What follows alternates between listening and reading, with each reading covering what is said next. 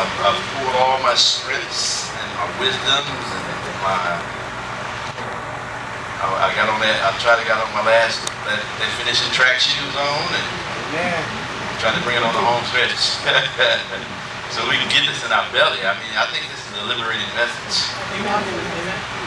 You go, you're going back over it and you allow the Spirit of God to uh, interpret some of the things that were said. Well, most of this is, is very practical. Didn't take a lot. It don't take, I think, a third grade to get most of this, to be honest with you.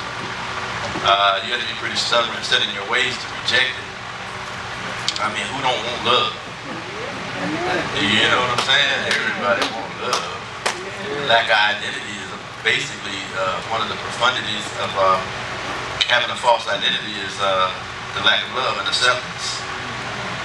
You know, you find a person that's pretty healthy and strong and pretty uh, committed to whatever uh, positive force that God has given them. You, and I guarantee you, you dig around a little bit, you can find out that they had a pretty healthy home, you know, and uh, had a strong foundation and wasn't a lot of discord. They just had, you know, and they're pretty, they're pretty assertive, pretty good people. We know good ain't good enough with, with the Lord, but um, I just wanted to uh, put that in there. Let's go right into the Word. Right into the Word. I, I normally try to summarize, but I'm gonna try not to as best as I can. We went to a few scriptures on the last time. We, we were able to find out those 17 things that cannot keep us from the love of God. Over in Romans uh, 8, chapter 31 to 39, there's 17 things. And we said those 17 is actually, this is the correct symbolism.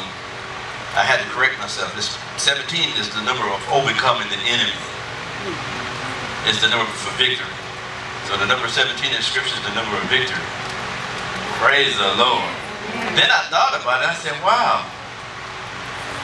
We just had 17 years of ministry. Now going into the 18th year. So this past year should have been uh, a year of victories. Overcoming an enemy. complete victory. A complete victory. So we discussed that. We talked. We went over to 1 John 4, 17 to 18. We looked at the perfect love that casts out all fear as a kingdom believer, as a person that understands love and, and, and what the provision of love that, that uh, Jesus uh, instituted on behalf of the Father, we found out that we don't have to have torment. We can approach God without reservation. We don't have to go through the whole conundrum of sacrifices and wait on appointed feasts. You know, it was a system they had in place in order to approach God in the Old Testament. We don't have to go through that system. We don't have to wait on Sundays and Wednesdays, and we don't have to wait on an altar call. We don't have to wait on somebody to call us out and lay hands on us. We can really, really, really take advantage of approaching God on behalf of ourselves. We don't need nobody to stand proxy for us. Knowing all these things, just imagine how graceful we should be mm-hmm. and so fluent in our love with the Lord. No hitches, no glitches, no hurdles, no speed bumps, none of that. The bridge, perfect access to the Lord. We can. And that love is very important. I'm going to go through a bunch of scriptures this morning. And I want to, walk you through scriptures. I promised last week I'm going to walk you through love so it won't just be a theory. It's going to be some practical things that you probably overlooked. But it's going to help you. It's going to enhance you. I want you to be enhanced. I don't want you to be educated this morning. I want you to be enhanced. Thank God for getting you intellectually sound. But I'm talking. I want you to be enhanced in your knower, in your belly, without a shadow of a doubt. So I don't never have to reteach this subject. That's my goal. That's, that's why I've been plowing. I don't. I don't want to have to revisit this. If I do, I don't want to have to do it out of, uh, uh, well, how to put it, have to. I want to be able to teach this because it just becomes a part of the curriculum, probably part, part of uh, understanding the foundations and something along those lines in a school setting. But I don't want to have to try to twist your arm and get you to get engaged to this whole thing because by nature, God is love. And by nature, I'm connected forever to that facet. to that attribute of God. I'm connected forever. There's not absolutely nothing in my life that can separate me from that love. Nothing. Nothing. And people get afraid to say, well, if you tell folks that, they're going to go do what they want to. No, no, it was already there. It was already there. They need a license for me to do what they want to do. Folks, I've been accused of a lot of things, but I have never been accused of uh, putting something in your head to make you want to do wrong. If you did wrong, it was because of your own actions. It didn't come from me. It didn't stand for me. It was your interpretation of what I said. Ultimately, God wants to get us to a place that we can start growing. I'm telling you, your growth is connected to love. Your growth in Him and your awareness of the kingdom is connected to your love walk. Amen. So we, we, we went to 1 John 4, 17 and 18. We dissected, as I said, and we talked about how now we're children of God and that Jesus wants to fill our hearts with his love. And once we get full of God, everything else comes into order. Amen? Amen? And we have to understand this.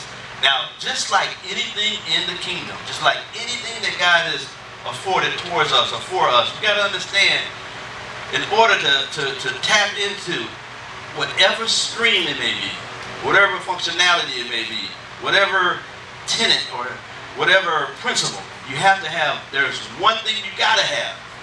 What is it? Love. Faith. You can't even get love without faith. You know what I'm saying? So you have to do it by faith. You have to do it by faith. Faith worketh by love. Galatians 5 and 6. Faith worketh by love. We know love is the greatest, but you can't tap into it because your feelings are going to be subjective. Your feelings are going to try to seek to disqualify you your actions, you know what I'm saying? So it's got to be by faith. And it's vulnerable because it's void of feeling at first. If you're looking for euphoria, it's not going to be, you don't get juiced in your veins with love off the top. You get what I'm saying? You don't get that high. When you first get saved, you got that six months. That's that, he give you a loaner. he give you love on loan. He say, here you go, you can try this. Or you can feel this for now. But then after, after huh? your honeymoon, yeah. So after you get done with that, after you get that loaner, and that, that experience with him and that, that earnest, the, the welcome package, you get what I'm saying? All the perks is wrapped up, and then all of a sudden you find yourself sobering up. Now he wants you to put on the big boy pants. And then and it's up to us to get to the point to show you, to, to, to, to we woo you with the emotions of the gospel. We connect with you in your feelings at first. That's, that's why you accepted them because you, you felt bad, you felt condemned, convicted, or you, you needed help, and you got teary-eyed, you scream, you get emotional, all those other stuff, you know. But then we have to sober you up with the gospel and share, and share with you that the glad, the glad tidings of good things is, is so much more than our emotions that God has, through, through the provision of the cross, He forever has sealed us and given us the provision that we needed. That we'll never have to worry about staggering at the promises of God. We'll never have to worry about hitting and missing. So I want to try to intensify what I just said so I can bring to a point where, it, in fact, there's a love, we're going to look at the Song of Solomon, that is so passionate, they don't take no for an answer. And that know it's not from God, that know it's in you. That know it's from the circumstances, not from God. It's always a good pleasure to give us stuff. Timing is everything, but maturation is important. You know, God loves us so much that He give us the down, He give us installments. Be, be it healing, deliverance, be it prophetic words, He give us pieces. He don't give full disclosure. He just give you enough so you can make a move. Amen? Amen. Okay. So go to 2 Corinthians 5 13.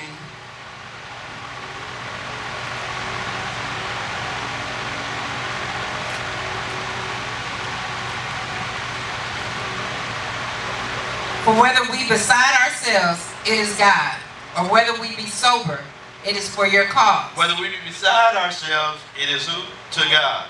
Or whether we be sober or alert or aware, it is for who? Your cause. Mm -hmm. For the love of Christ constraineth. For the love of Christ constraineth us. constraineth us. Because we thus what? Judged, because we thus judged that if one died for all, then we're all dead. One died for all. Remember we said all men are reconciled. All men are not saved. All men are reconciled. He died for all. Only problem is that the church has got, got a glitch in the memo. And, and, and because of our own selfishness, we found out that he only loved us. Am I right? So everybody else got to put me on pause. Y'all got to hold up a second. It's a list of things you got to do to get that love. I got it already, so you got to hold off. Most of the gospel that we hear in churches is on that frequency. Am I right? Help me out. That's what they say. They say, you know what? You know, uh, there's some things you have to do. So it says he died for all. He died for the mean person in your life. He died for the sweetest person in your life. He died for all. The one you want to send to hell in the handbasket, he died for him. Them, her, whoever it is. It. But he died for all. And we know that. You can see it in the parables. He, he, he loved the world so much, he bought the whole field. Remember that? To get one pearl. One pearl. Not One pearl. Like he didn't know what a pearl was at. Am I right? He knew what a pearl was. God's eyes is in every place. But Jesus wanted to buy the world. And that is so significant to me. And it's, it's a fulfillment of Romans 5 and 8. That even in my darkness, he can find me. That's powerful. When I sit back and think about that. He bought the whole world. He bought, he, he, he bought, he paid for ISIL, ISIS, mm-hmm. radical Islam. All, you know, they're doing the, I mean, the stuff they're doing, and, oh my goodness. But he died for them. And we got to project that. You know, we get around folks and we don't project it. We, we rather just let people know how holy we are. You know, we go on their place, we go to their meetings, and we go in their environment, then all of a sudden we want to let our hair down and tell everybody how wretched and messed up they are because they're not like us.